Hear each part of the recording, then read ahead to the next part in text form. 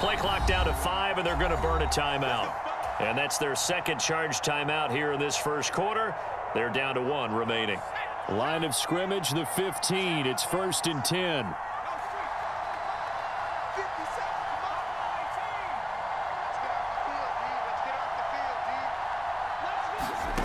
Here's Purdy on first and 10. And that's going to be caught. Touchdown NFC. Calvin Johnson, a 15-yard touchdown grab. And the NFC able to get a bit closer. Coaches must really like to see that from the quarterback because he's had the interceptions in this game, but they're able to connect on the touchdown pass. And teammates love to see that because they know that they miss blocks during a game, but they come back and make them later on. They miss tackles, right? They miss making plays.